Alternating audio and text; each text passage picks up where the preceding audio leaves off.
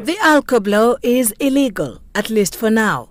A major blow to the National Transport and Safety Authority, which has been wielding the breathalyzer on the roads, aiming to sober up with appropriate penalties those who indulge in alcohol and still sit behind the wheel. The Court of Appeal's three-judge bench ruling states that rules on the breathalyzer are inconsistent with the Traffic Act and are therefore null and void. As the judges ruled, and I quote, they are incapable of creating an offence, end of quote. And so until Parliament does the requisite legislation, NTSA cannot prosecute drunk drivers on evidence obtained from the alco blow. Coming on a Friday afternoon, the appeal court ruling understandably triggered a frenzy of celebrations among motorists with thirsty plans for the evening.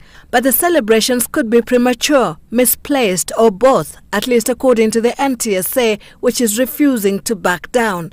The authority is warning such motorists to hold their breath a statement from the Director General Francis Meja says NTSA informs members of the public that driving under the influence of alcohol is an offence and that the authority will continue to execute its mandate so as to keep our roads safe. End of quote.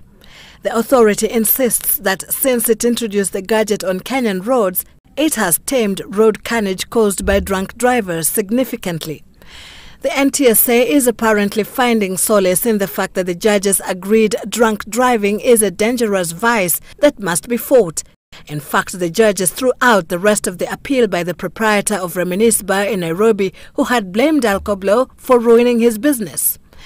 Although road carnage has not reduced dramatically, NTSA says their ability to bring road accident fatalities to below the 3,000 mark per year over the past few years is an indication that their strategies, one of them being the introduction of the alco blow, is helping to bring sanity back to the roads.